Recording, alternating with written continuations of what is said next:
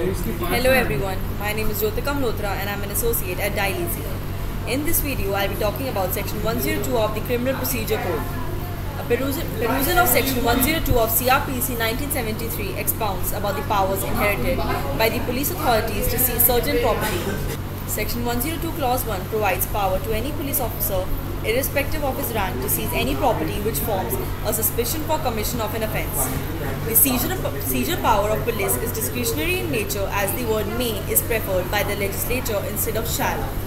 Section 102 Clause 2 obligates the investigating officer to report the seizure of property to the officer in charge of the police station if the investigating officer is subordinate to the officer in charge.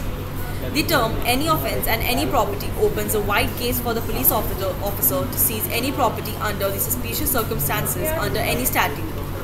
Therefore, Section 102 Clause 3 balances the power of police authorities to seize any property irrespective of the nature of the offence, that is, cognizable or non cognizable, because the investigating officer is obliged to report to the magistrate about the seizure of the property and if the property cannot be furnished to the court, then the police authorities shall give that property to any person who promises to execute a bond for providing this uh, property before the court as and when the magistrate directs.